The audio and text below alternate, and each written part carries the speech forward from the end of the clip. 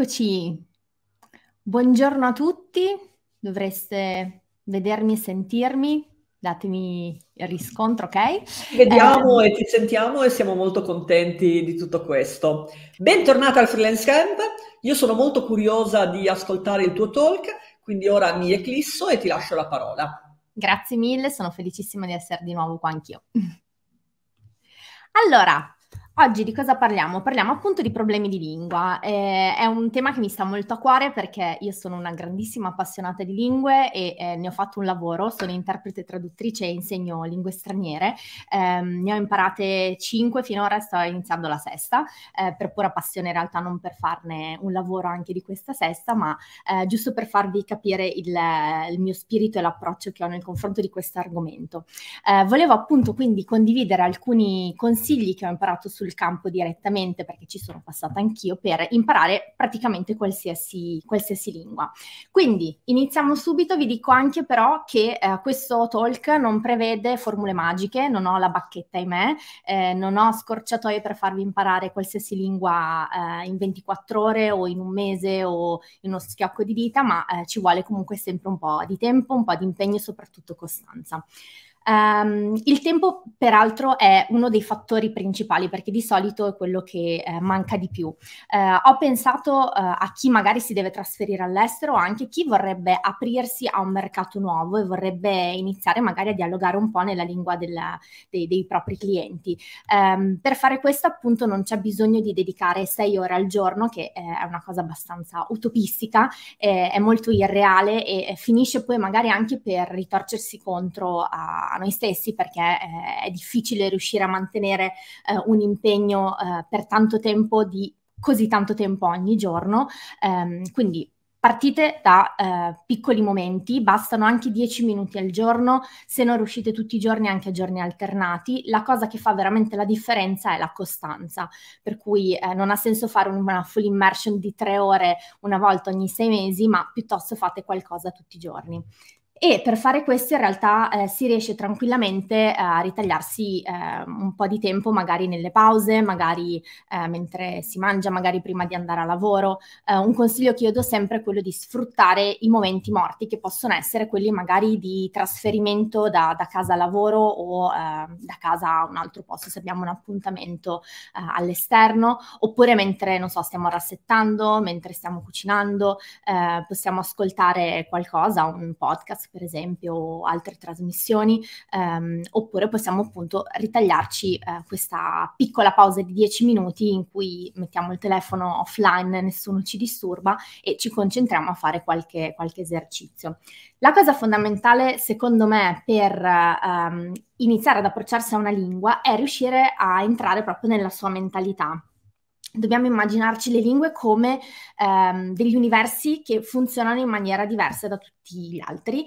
Eh, ci sono dei punti di contatto, ma specialmente con certe lingue il salto eh, di, di, di, ragionamento è enorme. Quindi prendiamo ad esempio l'inglese, che è quello forse un po' più... Eh, conosciuto proprio anche come esperienza diretta, um, è una lingua che è diversissima dall'italiano perché ha avuto un'origine eh, che proviene dall'antico germanico, che è la lingua che poi ha formato anche il tedesco, e già da questo ci dovrebbe dare insomma qualche indicazione sul fatto che non è una lingua proprio così semplice e, ha un funzionamento completamente diverso appunto da, dall'italiano. Quindi a seconda della lingua nei confronti della quale ci approcciamo, dobbiamo tenere conto anche di questo aspetto e sapere anche la, l'origine della lingua stessa, quindi queste mh, basi veramente molto semplici senza entrare troppo all'interno della, della linguistica, ci può aiutare a, uh, a capire meglio come funziona e, e, anche accettare meglio il fatto che purtroppo non si può fare una traduzione letterale da, dalla nostra lingua all'altra. Um, vediamo quindi quelli che possono essere eh, dei consigli un po' più pratici che possiamo eh, mettere in pratica sempre. Questi non sono risolutivi, non, magari non vanno bene tutti per tutti. Eh, io vi do alcuni spunti, potete prenderne solo alcuni, magari nessuno o magari anche tutti quanti, e sfruttateli a vostro vantaggio. Una cosa che mi sono vista um, funzionare molto bene sia per me che per molti dei, dei studenti che ho, um, che ho, seguito è il fatto di tenere uh, un quadernino che può essere un'agenda, un semplice quaderno dove annotare le parole nuove. Questo ci permette innanzitutto man mano che scriviamo di memorizzarle e poi anche di averle tutte in un unico posto per poterle poi uh, andare a ripassare. Quindi possiamo riprendere il quaderno una volta ogni tanto, io dico sempre magari prima di andare a letto così se non riusciamo a dormire ehm, è quello che proprio ci fa addormentare ed è una cosa che andare a dormire facciamo tutti i giorni, quindi abbiamo comunque la, la costanza. Eh, quindi qui possiamo andarci a segnare tutte le parole nuove che, che incontriamo. Um, in realtà quelle che magari pensiamo ci possono servire di più perché insomma parole super tecniche magari non, non fanno parte di, di quello che può essere il nostro eh, il nostro bisogno quotidiano ehm, e appunto li abbiamo tutti in un unico posto in modo da poterle ripassare, poter andare eh, a, a cercarle in caso di bisogno. Um, un'altra cosa, um, per, soprattutto per il lessico, per cercare di ricordarsi le parole, che è un altro problema abbastanza frequente quando si, si studia una, una, lingua nuova, eh, è il fatto di trovare delle associazioni, quindi magari eh, trovare delle eh, somiglianze con l'italiano, con qualcosa che conosciamo già, cercare di trovare magari degli appigli con qualcos'altro. Eh, faccio sempre l'esempio di uno studente che qualche anno fa ehm, abbiamo, stavamo vedendo insieme un testo in inglese eh, c'era la parola seagull che non è così tanto comune, eh, insomma, forse si fa giusto, uh, non so, elementari quando si fanno gli animali, però ecco, tra adulti non è eh, un... Um, eh, un, un, termine conosciutissimo. E eh, questa persona mi ha detto ah sì cavoli ma me lo ricordo perché vicino cioè dove andavo io in discoteca da ragazzo c'era un locale che si chiamava Blue Seagull eh, e Seagull è il um, gabbiano quindi si ricordava che Seagull era il gabbiano sono banalità, però possono tornare veramente molto utili. Possiamo eh, veramente legare a quello che viviamo tutti i giorni o a esperienze particolari che abbiamo fatto a delle parole che poi ci possono tornare utili. Um, un'altra regola che vorrei brevettare quella dell'economia, ovvero il fatto che in realtà quando ci approcciamo a studiare una lingua nuova non dobbiamo sapere tutto, ma chi se ne frega di, di tutte le eccezioni eh, più remote, ehm, cioè, ce le fanno studiare a scuola perché è, è quello il compito della scuola di per sé, ma nella lingua di tutti i giorni la cosa che conta davvero il farsi capire eh, nel modo più corretto possibile, ok, però al tempo stesso senza stare ad impazzire. Quindi anche a livello sia di grammatica ma anche di lessico cerchiamo di selezionare quelle che sono le informazioni che effettivamente poi ci possono servire nel nostro settore. Se vogliamo sviluppare magari appunto ehm, la lingua solamente per delle trattative a livello lavorativo, ovviamente ci studieremo più tutto il lessico e la terminologia che riguarda il nostro settore, piuttosto che, non lo so, quello medico se magari non c'entra assolutamente niente, eh, o se al contrario, magari la, la, la, nostra volontà di studiare una lingua è quella di comunicare magari con altre persone quando siamo in viaggio, ci studieremo un po' di più quelle parole che ci permettono di fare uh, small talk, quindi di, di, fare quattro chiacchiere, di parlare del più e del meno e anche in questo caso non andremo a studiare del lessico super specifico.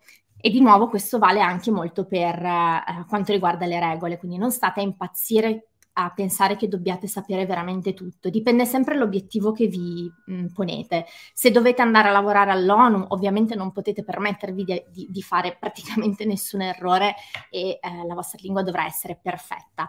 Se invece il vostro lavoro, eh, appunto, eh, siete voi il vostro capo perché siete freelance, potete secondo me andare più scialla tranquillamente.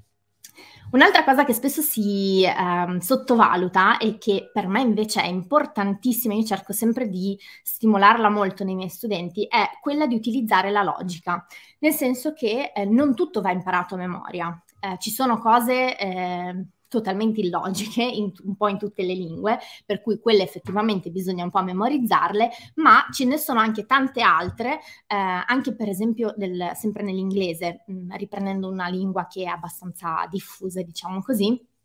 Per cui ci sono eh, tanti ragionamenti che possiamo mettere in atto eh, piuttosto che impararci appunto a memoria una sfilza di, um, eh, di, di, di regole eh, che, che, magari insomma ehm, è, è, già più difficile da riuscire poi a tenere a mente. Eh, banalmente tutte le mh, modifiche ortografiche che ci sono per esempio per il presente semplice, passando eh, dalla, da tutte le persone alla terza persona singolare, ehm, in alcuni casi abbiamo appunto l'aggiunta di una O prima della S ma si tratta di eh, esigenze fonetiche, quindi è una questione abbastanza logica se, se ci pensiamo. Um, quindi ci possono essere tanti piccoli elementi che veramente um, ci possono aiutare appunto a, ad arrivarci col ragionamento senza bisogno di, di studiare eh, eccessivamente. Un altro strumento che secondo me è molto utile ehm, e che possiamo appunto rigirare a nostro favore è eh, lo sfruttamento degli hobby, cioè abbiamo un argomento che ci piace in particolar modo, um, cerchiamo di imparare la lingua tramite questo argomento. Faccio un esempio, potrebbe essere la cucina, ci piace la cucina, stiamo studiando eh, il tedesco, ok, allora, guardiamoci programmi di cucina in tedesco, ascoltiamo podcast in, mm, in tedesco che parlano di cucina, leggiamo riviste eh, che parlano di cucina dove ci sono delle ricette, spiegano quelli che sono i procedimenti, ehm, possiamo venire a contatto anche con quelli che sono gli ingredienti a volte anche tipici e diversi rispetto a quelli italiani. Eh, questi sono dei piccoli trucchetti che ci fanno eh, sentire la, lo studio della lingua un po' meno pe- pesante. Eh, non tutti purtroppo hanno la mia stessa passione, quindi capisco che a volte sia una cosa che uno dice no, mannaggia, ma mi tocca veramente fare sta roba. Eh, io ho, la stessa avversione per l'attività fisica, quindi posso capire benissimo e faccio sempre questo paragone, mi, mi immedesimo moltissimo in chi ehm, dall'altra parte appunto non ha questa spiccata passione, però al tempo stesso se riusciamo a mettere insieme una cosa che invece eh, ci stimola particolarmente e ci interessa, eh, secondo me diventa molto più, più leggero e più fattibile. Se poi ehm, questo hobby combacia o comunque ha dei punti di contatto anche con eh, il, il, nostro lavoro e quindi eh, ci permette poi di imparare cose anche che possono essere utilizzate poi per lavoro, tanto meglio. Uh, una domanda che mi viene fatta spessissimo, anzi sono due in realtà, una è sulle app e una sui sottotitoli. Le app vanno bene o non vanno bene? Anche qua dipende in realtà qual è il nostro obiettivo. Um, le app di per sé non insegnano le lingue, aiutano nel processo di apprendimento, um, nel senso che molto spesso fanno fare dei giochi di associazione per quanto riguarda le, le parole, i singoli termini, oppure delle semplici frasi di uso quotidiano. Questo sicuramente è un ottimo esercizio, può essere anche divertente, può essere un po' più leggero, richiede veramente pochissimo tempo, quindi... Um, assolutamente sì, se, se, vi piace potete utilizzarle, con la consapevolezza però appunto che non è risolutivo, cioè non è che fate quell'esercizio di 5 minuti al giorno sulla app e poi avete imparato la lingua. Ci va anche un po' più um, altre abilità, uh, sicuramente la parte di grammatica vi aiuta ad avere una base solida e uh, poter essere autonomi uh, senza bisogno di arrivare a chissà quale livello, però quantomeno per uh, sapervi un po' muovere. E poi sicuramente c'è la parte anche di, di, parlato e di comunicazione che a seconda di come decidete di impostare il vostro lavoro può essere importante, ma ci torniamo tra pochissimo. Il discorso sottotitoli per me onestamente un grandissimo no, eh, nel senso che un conto è ehm, rilasciano ehm, col contagocce le puntate della nostra serie preferita sono tutte in versione originale. Eh, per averla eh, sottotitolata in italiano o comunque doppiata in italiano dobbiamo aspettare dei giorni, non, eh, non possiamo permettercelo perché vogliamo vederla.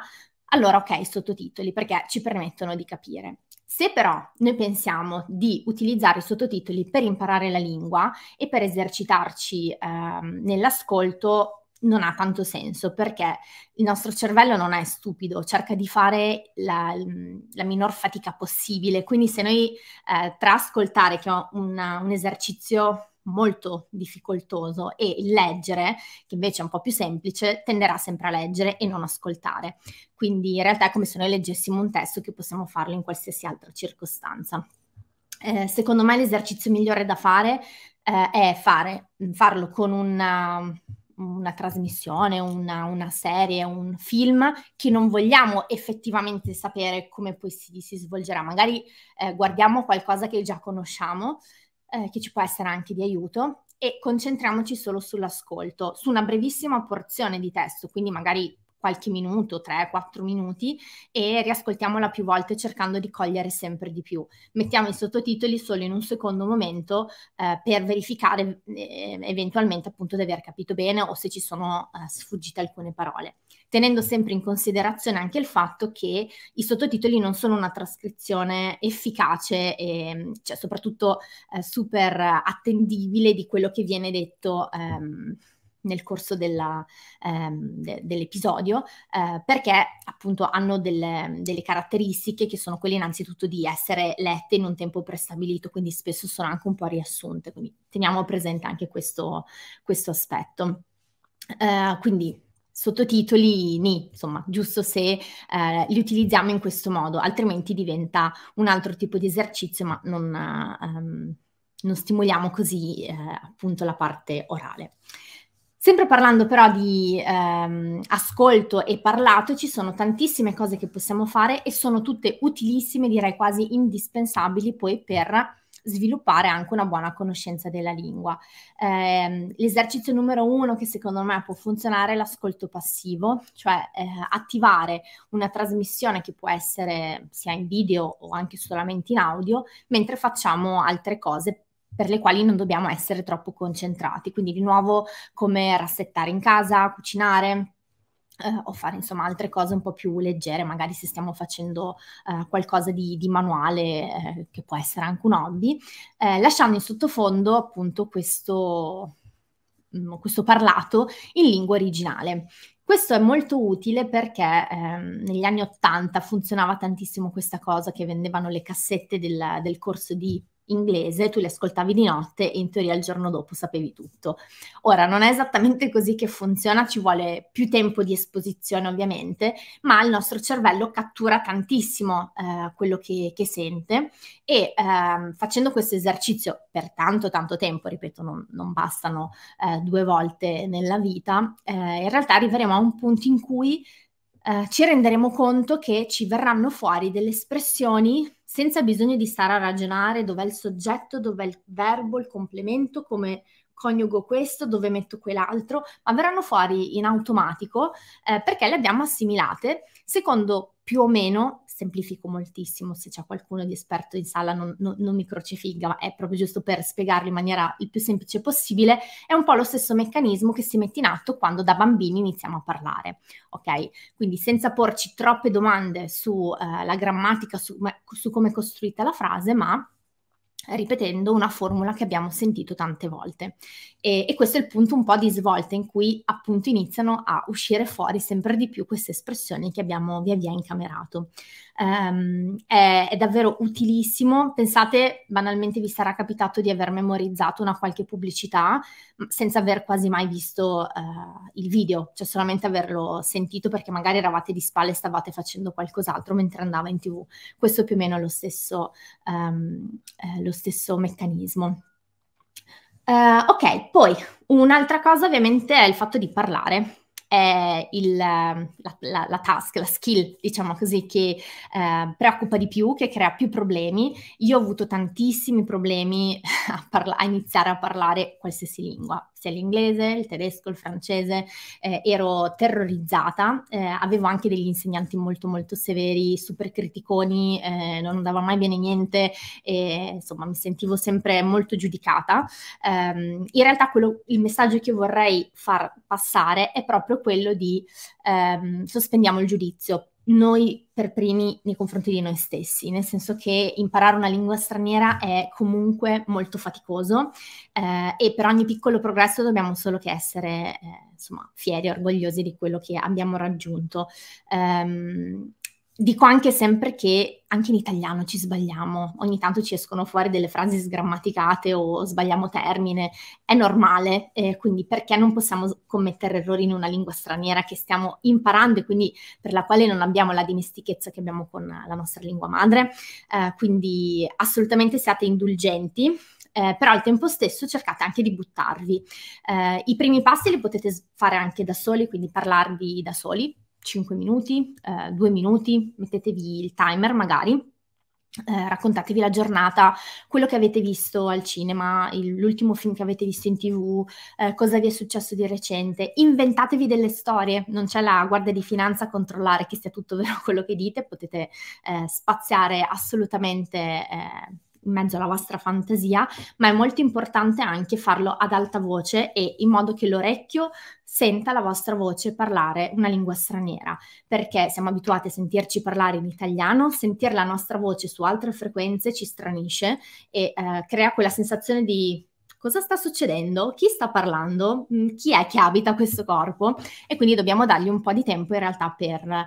Ehm, abituarsi a questa cosa. Non preoccupatevi degli errori perché ci saranno, eh, ma via via poi li migliorerete. E nel momento in cui romperete il ghiaccio parlando da soli, quindi ehm, appunto superando questa barriera anche di ascolto della vostra voce che parla in una lingua straniera, poi buttatevi anche con le altre persone. Se vivete all'estero, se vi trasferite all'estero, cercate di attaccare bottone o comunque di parlare in ogni occasione, che sia fare la spesa al ristorante, al pub, per la strada chiedendo indicazioni, anche se magari già le sapete, solo per abituarvi anche a sentire parlare eh, la lingua e eh, ripetere certi, eh, certi, certi, termini, eh, altrimenti se non siete nel paese straniero ma siete ancora in Italia o siete in un altro paese ancora, usate eh, alcune piattaforme come Italki, per esempio, scritto con la K, eh, che permette appunto di fare dei tandem, quindi di parlare con persone straniere eh, oppure anche appunto in tandem, oppure poi ci sono io, ma questo è un altro discorso. Eh, se invece appunto poi vivete in Italia, sfruttate anche i momenti delle vacanze all'estero per parlare questa lingua, ehm, quindi ogni, ogni momento veramente buono. Potete anche magari intercettare degli stranieri nella vostra città che potrebbero aver bisogno di qualche indicazione, potete buttarvi. Sarà difficile e molto doloroso all'inizio, ma... Ehm, praticamente non, non, farete male a nessuno, quindi ehm, potete appunto lanciarvi in questa esperienza. E ehm, un po' per concludere, diciamo così, eh, il, um, la mia carrellata di consigli, eh, ascoltate il più possibile, veramente l'ascolto anche se attivo, quindi attivo significa che mi metto lì con tutto disattivato, sto concentrata quei 5-10 minuti ascoltare eh, una, una, trasmissione eh, dove parla una lingua straniera e cerco di capire il più possibile, cerco di fare più ascolti della stessa porzione di, di audio, anche 2, 3, 4 volte, cercando di cogliere sempre di più. Eh, anche questo è un esercizio veramente utilissimo che eh, pesa tanto, non viene quasi mai fatto, ma eh, dà veramente dei risultati pazzeschi perché poi quando vi trovate eh, insomma a dover comunicare anche la comprensione di quello che sentite è super importante. Per fare questo potete usare ovviamente un po' di tutto, i podcast come vi dicevo prima, magari dei vostri argomenti preferiti, le news, anche se spesso sono, eh, hanno un ritmo velocissimo e hanno un po' di termini difficili, però se vi abituate può essere un ottimo strumento. Ovviamente film, telefilm, eh, altre trasmissioni in lingua originale. Eh, io per iniziare di solito per eh, i miei studenti delle lingue che gestisco, quindi inglese, tedesco e francese, faccio partire da Peppa Pig. So che non è una botta di, di vita, però in realtà ha un lessico molto semplice, parla di questioni eh, da tutti i giorni, eh, hanno un ritmo non troppo sostenuto, una pronuncia pulita, per cui si riesce a capire bene anche nella versione tedesca e francese. Eh, quindi cercate sempre di partire da un livello un po' più basso rive- rispetto al vostro per poi progredire mano a mano in modo da non sentirvi troppo frustrati se poi non riuscite effettivamente a, a comprendere. Um, questo direi che sia praticamente tutto.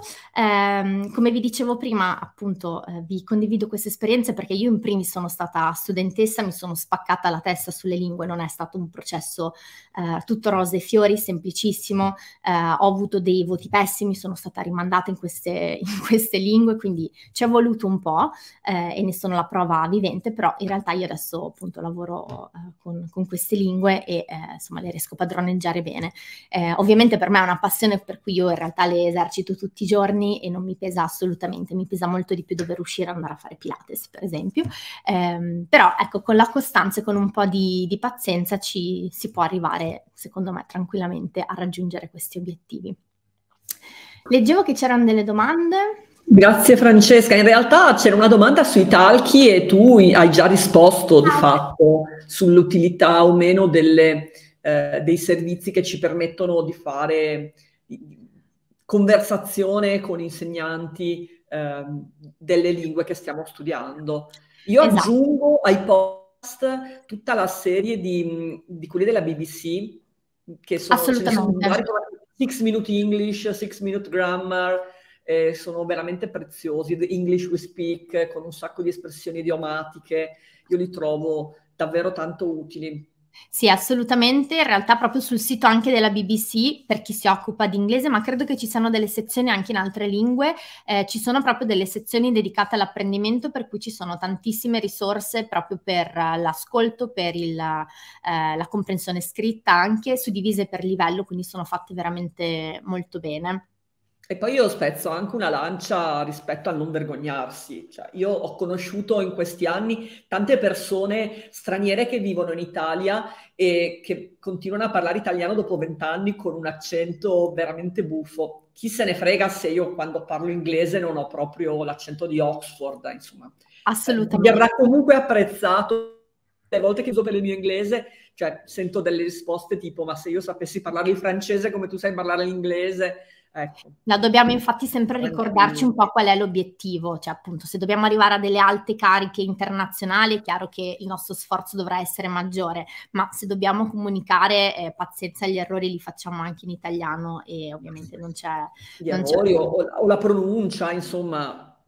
Esatto. Chiaro. Sì, anche perché poi in inglese soprattutto ci sono tantissime varietà di inglese, quindi che lo parli una, un, un britannico, che lo parli un americano, un australiano, senza passare poi per tutta la, la fascia asiatica, eh, cioè ci sono veramente dei mondi eh, inesplorati e, e ampi, ampissimi, per cui eh, insomma concentriamoci su quella che può essere il, il nostro paese eh, col quale dobbiamo comunicare e concentriamoci su quella pronuncia particolare senza dover impararle tutte e poi insomma va bene comunque. Quando non capiamo chiediamo anche alle persone di parlare più lentamente. Assolutamente, assolutamente. si può fare, si può fare, non, può fare. non succede nulla, anzi.